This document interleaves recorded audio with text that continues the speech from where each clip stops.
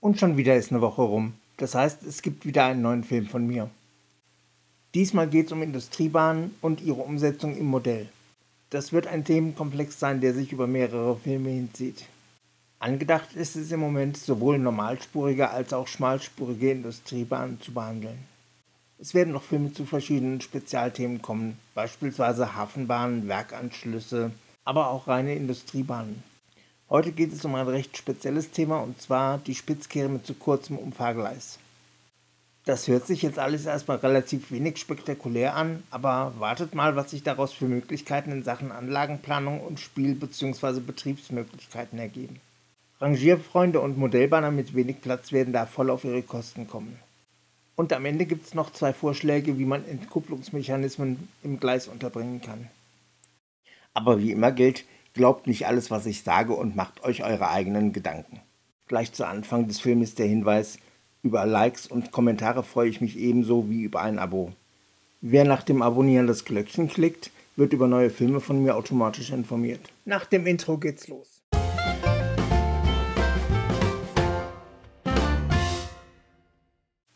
Thema des heutigen Filmes sind normalspurige Industriebahnen, beziehungsweise genauer gesagt Spitzkern mit zu kurzem Umfahrgleis. Aber sind Industriebahnen nicht langweilig?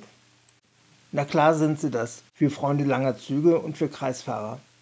Andererseits ist eine Industriebahn ideal für Freunde kurzer und sehr kurzer Züge, für Point-to-Point-Fahrer, für Freunde von Klein- und Kleinstlokomotiven und für Fans kompakter Gleisfiguren. Tendenziell ist so eine Industriebahn also eher was für Leute, die auf Qualität statt auf Quantität setzen. Industriebahn mit Spitzkehre und zu kurzem Umfahrgleis. Ähnlich wie bei der Modellbahn ist bei der Industriebahn Platznot immer gegeben. Allerdings gibt es bei der Industriebahn keinen Fünffingerkran, der ab und zu mal helfend eingreifen kann. Deshalb kommt es gelegentlich zu der Kombination aus zu langen Zügen und zu kurzen Umfahrgleisen bei Spitzkehren. Das Resultat daraus ist ein faszinierendes Rangiermanöver. Ich möchte schon fast sagen, es ist ein geiles Rangiermanöver. Hier eine kurze illustrierte Beschreibung des Vorgangs.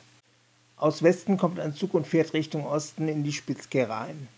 Allerdings ist der Zug zu lang, um von der Lok auf dem Umfahrgleis umfahren zu werden. Also werden die letzten Waggons abgekuppelt und die Lok zieht mit den verbleibenden Waggons ins Ausziehgleis vor. Jetzt werden die Weichen so umgestellt, dass die eben abgestellten Waggons umfahren werden können. Danach umfährt die Lok mit den verbliebenen Waggons die eben abgestellten Waggons. Jetzt werden die Weichen abermals umgestellt und die Lok zieht mit Anhang zu den eben abgestellten Waggons vor. Nun werden die vorhin abgestellten Waggons wieder an die Lok angekuppelt, allerdings auf der anderen Seite. Jetzt zieht der ganze Fahrzeugverbund Richtung Osten vor. Die Waggons westlich der Lok werden nun abgekuppelt. Und abermals zieht die Lok mit zwei Waggons auf das Ausziehgleis. Nochmal werden die Weichen umgestellt und der Zug umfährt die abgestellten Waggons. Die westliche Weiche des Umfahrgleises wird umgestellt und die Lok schiebt die Waggons wieder zusammen. Jetzt werden die vorhin abgestellten Waggons angekuppelt und der Zug kann in Richtung Westen losfahren. Da der Zug aber eben aus Westen gekommen ist, nimmt er jetzt natürlich den Abzweig nach Nordwesten. Wer sich ein vergleichbares Manöver mal in Natura angucken will, sollte sich mal den Film Der letzte Sommer der Industriebahn Oldesloe hier auf YouTube ansehen. Speziell die Passage ab 3 Minuten 25 ist sehr interessant. Da wird nämlich genau ein Rangiermanöver wie das hier beschriebene gezeigt. Der Film ist sowohl über eine Infokarte oben rechts in der Ecke als auch in der Videobeschreibung verlinkt. Industriebahn mit Spitzkehre in Spur 0, 5 Meter mal 6,80 Meter. Es ist vermutlich nicht wirklich verwunderlich, aber das eben gezeigte Rangiermanöver hat mich zu verschiedenen Anlagenplänen inspiriert. Hier ist eine Spur-Null-Anlage, bei der die Spitzkehre die Verbindung zwischen zwei Anlagenebenen der Spur-Null-Anlage herstellt. Da der Gesamtplan doch ein wenig unübersichtlich ist, betrachten wir zuerst die untere Ebene. Aus dem Schattenbahnhof kommen Personenzüge in Richtung des kleinen Endbahnhofs auf der unteren Ebene. Güterzüge werden auf die Gütergleise des Bahnhofs geleitet. Wobei der Güterverkehr eigentlich nur noch Rohstoffe und Waren einer kleinen Brauerei in der oberen Ebene umfasst. Es sind nur noch wenige Waggons, die auf dieser bald sterbenden Strecke noch transportiert werden. Vom Güterbereich des Bahnhofs steigt die Strecke zu einer Spitzkehre hin an. Dort findet ein Rangiermanöver statt, wie es am Anfang des Filmes beschrieben wurde. Von der Spitzkehre aus geht es hinauf zur Übergabegruppe der Brauerei. Dann kommt die Werkslok mit ein paar Kühlwagen aus der Brauerei und stellt diese auf das freie Gleis der Übergabegruppe. Nun fährt die Werkslok auf das Ausziehgleis. Die Weiche wird umgestellt und sie drückt die eben gebrachten Kühlwaggons in die Brauerei. Jetzt zieht die Bundesbahnlok vor auf das Gleis mit den frisch beladenen Kühlwaggons. Jetzt macht sie sich über Spitzkehre und Endbahnhof auf den Weg in den Schattenbahnhof. Und hier nochmal ein Blick auf die dreidimensionale Darstellung der Anlage aus verschiedenen Perspektiven. Leider ist mein Planungsprogramm nicht ganz optimal für die Anlagenplanung mit mehreren sichtbaren Ebenen. Industriebahn mit Spitzkehre in H0 1,50 Meter x 3 Meter. Da ich ja sonst in H0 immer relativ große Anlagen plane, dachte ich diesmal, ich plane mal was für 1,50 Meter x 3 Meter. Die typische Speisekammergröße. Die drangvolle Enge der kleinen Kammer kommt zwar bei dieser Illustration nicht richtig zur Geltung, aber die Illustration verdeutlicht zumindest, wie die Ebenenaufteilung bei dieser Anlage gedacht ist. Rechts unten in braun ist der Bereich für den Schattenbahnhof eingezeichnet. Von da aus geht es entlang der hinteren Wand auf die linke Seite des Raumes. Die untere Ebene auf der linken Seite ist eine halbe Ebene höher als der Schattenbahnhof. Von da aus steigt wieder eine Strecke eine halbe Etage höher auf die rechte Seite des Raumes. Die Sichtebene auf der rechten Seite ist also eine ganze Etage höher als der Schattenbahnhof. Von der oberen Ebene auf der rechten Seite steigt die Strecke auf die obere Ebene der linken Seite. Da endet die Strecke dann. Nach der prinzipiellen Erläuterung der Anlagenstruktur kommen wir nun zum Gleisplan selbst. Das erste, was ins Auge fällt, ist der rote Punkt.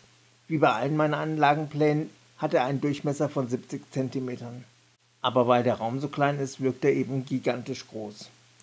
Was ebenfalls auffällt, ist, dass die Anlagenschenkel extrem schmal sind.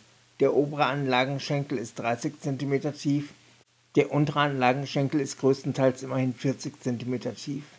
Das sorgt immerhin für eine ausgesprochen gute Erreichbarkeit. Aber beginnen wir nun die Tour über die Anlage. Aus dem Schattenbahnhof heraus fahren die Züge bis zum Endbahnhof mit dem Übergabebereich zur Industriebahn. Von diesem Übergabebereich geht es dann wieder auf den rechten Teil der Anlage, diesmal in einem etwas größeren Bogen. Auf dem oberen Deck des rechten Anlagenteils, hier unten im Bild, befindet sich wieder eine Spitzkehre mit zu kurzem Umfahrgleis. Also muss auch hier wieder das aufwendige Rangiermanöver vom Anfang des Filmes zelebriert werden. Ist das geschafft, geht es noch eine halbe Etage höher auf die linke Seite. Auf der obersten Ebene ist wieder ein Gleisanschluss einer Brauerei. Diese Brauerei ist der letzte Kunde einer ehemals viel größeren Industriebahn. Zu den Dienstleistungen dieser Industriebahn gehört es mittlerweile auch, die Waggons genau dahin zu stellen, wo der Kunde sie haben will. Folglich hat der Kunde auch kein eigenes Triebfahrzeug mehr. Sind die neuen Waggons angeliefert worden, werden die alten Waggons mit runtergenommen in den Übergabebahnhof. Genau genommen ist das ja eigentlich mehr eine Übergabegruppe aber von da aus werden die Waggons abgeholt und in den Schattenbahnhof gebracht. Zum Abschluss werfen wir nochmal einen Blick auf die 3D-Ansicht der Anlage. Aus diesem Blickwinkel wirkt die Anlage ja schon ein bisschen wie ein römisches Amphitheater, aber ohne eine derartige Höhenstaffelung wäre so ein kleiner Raum für eine Modellbahn nicht nutzbar. Zumindest nicht in H0. Entkuppler im Eigenbau.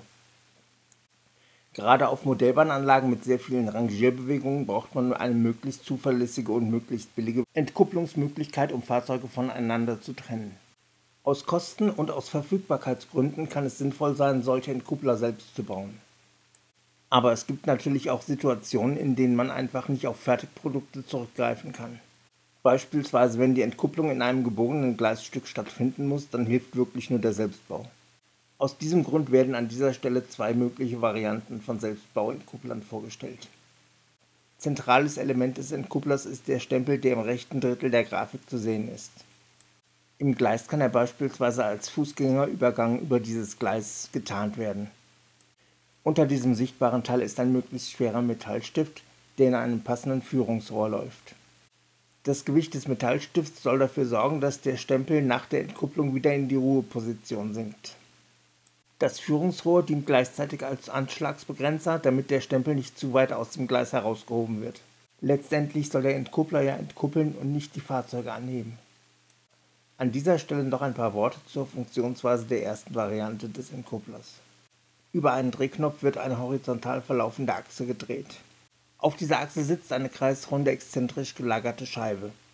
Im Ruhezustand hängt die Scheibe quasi nach unten. Dreht man nun am Drehknauf, hier auf der linken Seite eingezeichnet, dann schiebt die Exzenterscheibe den Stempel nach oben. Dreht man den Knauf wieder zurück, sinkt auch der Stempel zurück in die Ausgangsposition. Wer den Drehknauf nicht mag, der kann den Stempel auch über eine Wippe betätigen. Ich habe das hier mal schematisch illustriert. Sowohl die Drehachse als auch der Anschlagpunkt des Führungsrohrs sind nicht an der richtigen Stelle eingezeichnet. Aber zumindest die Funktionsweise des WIP-Mechanismus sollte aus der Illustration hervorgehen. So, das war's wieder mal für heute. Was darf's denn sonst noch sein? Aber bitte bleibt realistisch. Das Thema muss innerhalb einer Woche inhaltlich verarbeitbar sein und es muss auf einer Modellbahn darstellbar sein. Und nicht vergessen, bitte bewerten, abonnieren, Glöckchen anklicken, meine anderen Videos und die Videobeschreibung beachten.